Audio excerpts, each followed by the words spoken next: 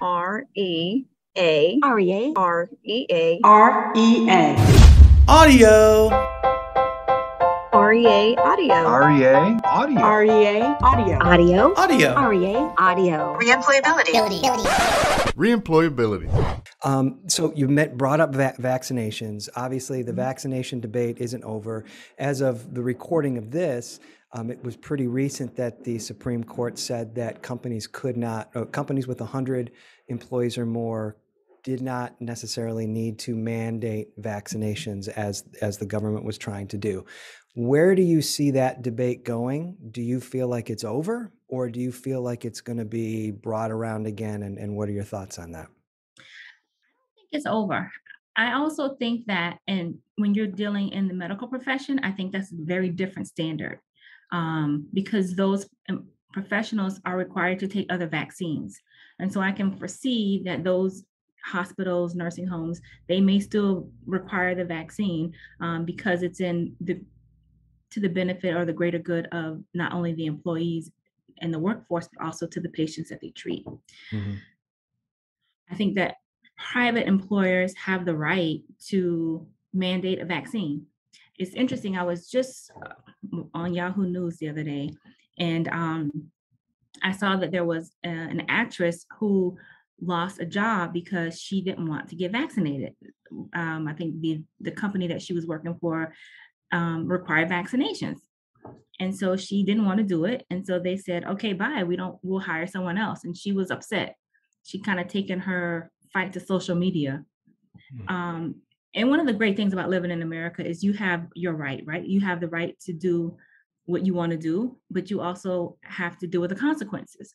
And so, in those situations, I think you're going to find some employers who are still saying, until this thing is under control, we feel as though vaccinations are the best way to protect our workforce um, and ensure that we have a healthy workforce. I think some employers are going to still do that. I think some employers are going to say, okay, we are going to encourage vaccinations, but we're not going to require it. Um, and and do that. I mean, just yesterday I heard that the cruise lines were changing their um, COVID policies and COVID vaccination policies as well. So I think everyone is kind of adapting. I feel like we're coming out of the clouds. We're we're seeing a decline in COVID positive uh, cases, which is great, right? It makes you feel a little bit better about life. Mhm. Um, you feel like you can kind of get out a little bit more and see people you haven't seen. Um, and so I, I think that it's going to be an evolving thing as as it changes, you know, as we learn more, as um, we respond to different variants, as we're exposed to different variants, I think it's going to go through some changes until it's pretty much at bay. And I mean, I'm praying that that sooner rather than later. Right. No, no doubt. Um, I actually saw an article in uh, Risk and Insurance. It actually came out yesterday, having to do with mandate uh, vaccination mandates and legal rulings and and the influence on uh, EPLI. So of course I had to look up what EPLI was because I'm not, uh, you know, I haven't been in this industry for too too long. Um, so uh, do you have any thoughts on that? So there were employers that were um, prepared for the mandatory vaccinations. They uh, the ruling came down that said um, you don't have to. Uh, say someone comes and gets exposed at work and they can prove it. Uh, I mean, is that is that an issue that you foresee coming because an employer chose not to do that? Well, I'll have to play devil's advocate. Yeah. uh, what happens to the person who is vaccinated who comes to work and gets exposed, right? You know, what we know is that the vaccine helps to save your life, but it doesn't mean that you won't get exposed, and it doesn't mean you won't contract COVID. Mhm. Just like getting the flu shot, you may get the flu shot, you may still get the flu, but the idea is you will recover quicker. And so, um, I I can tell you, I suspect that people who are working at employers who don't get vaccinated, um, who aren't required to get vaccinated, and they get exposed, they're going to feel as though their employer has not protected them. Mhm.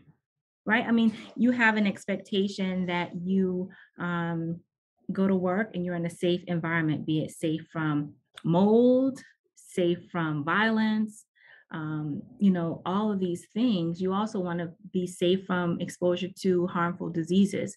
And so I think it's going to be a double edged sword. I mean, you hear testimonials of doctors who say they have people who come in who aren't vaccinated and they're sick, sick, sick, and they say, oh, I want the vaccine now, and it's too late.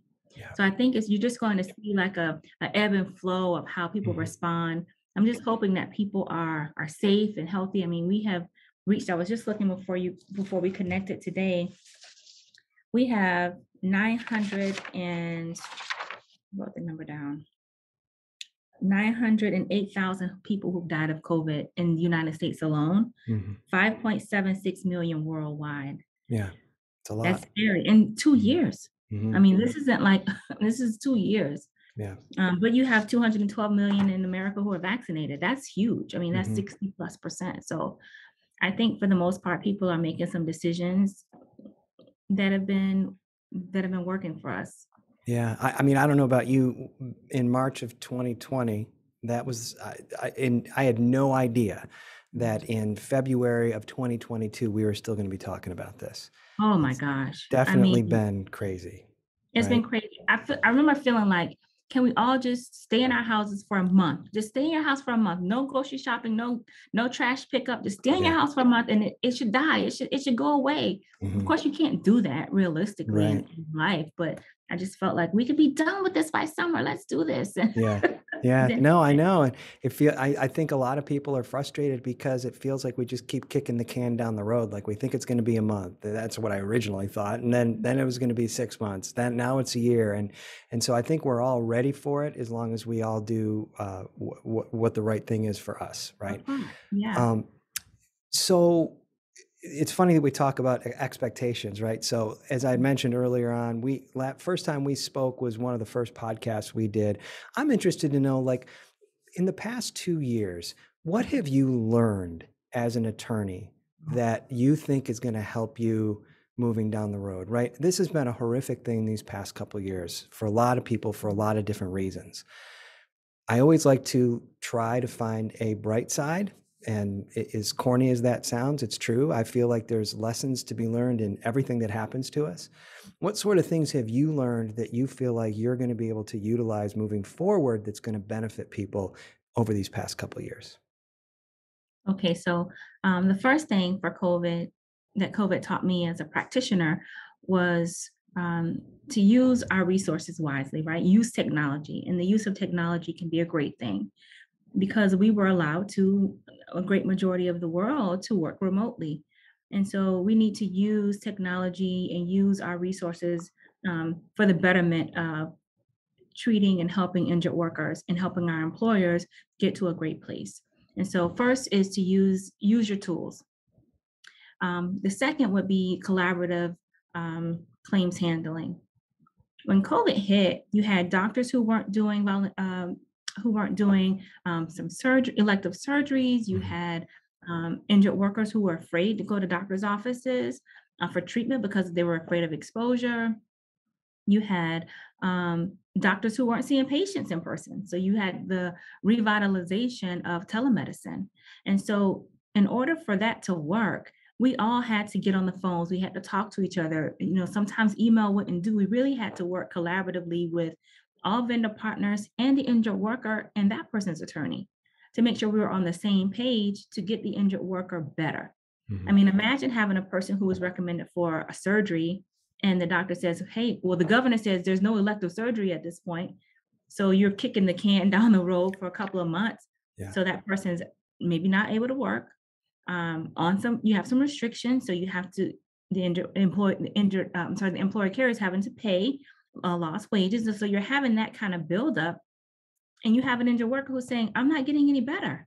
I need my surgery. I can't have my surgery. And so being able to collaborate and have open lines of communication, I think have really helped. Um, and so I, I don't want to lose that. That's that's kind of where I find my success with my claims handling is for it to be collaborative. I Mhm. think that makes everything better. Um, I think having a lot more compassion because you just don't know what people are dealing with, right? That injured worker is dealing with being injured, maybe loss of income. Uh, If they were the breadwinner for the family, that's impacting them from an emotional standpoint, I'm sure. Um, having to re- rely on other people to help. So just having a little bit more compassion when you talk to people and when you're handling their cases, um, and not just rubber stamping them, thinking it's just like the last case, because every case really is very different. Mm-hmm. Yeah, we, we had we had uh, Dr. Claire Musselman on uh, a couple weeks Mhm. ago. Um, you know Claire, and uh, that was one of the things that she highlighted to us is that you know this this work that we do really is almost like social work um, Mhm. because you're you're impacting people's lives, and we have to be really really careful about not like you said rubber stamping things, and and trying to trying to kind of put yourselves in their shoes and, and try to figure out what it is that that they're going going through. for sure. Well, Yashika, um, once again, thank you so much for your time today. It's always so nice to talk to you. And if it's okay, I'd rather not wait six or seven months before we talk again. So would you come on again down the line? Absolutely. Anytime you need me to, I, I love to. Great. And if anything legally pops up, we would love to hear from you intermittently as well, right? We don't have to have something. So, you know, I know things sometimes in your world and what your focus is is a little different than than ours. Um, anything that you think is important, uh, it, you are always welcome to come talk. Oh, thank you so much. I appreciate it. I'll take you up on that. All right, absolutely. Thanks, Yashika. Or Stitcher or wherever you get your podcasts. You can also check out more content at listen2rea.com. Next week, we'll continue our discussion with Yashika, learning more about what she sees as important issues in the year to come. Thanks for being with us, and have an awesome and impactful rest of your day.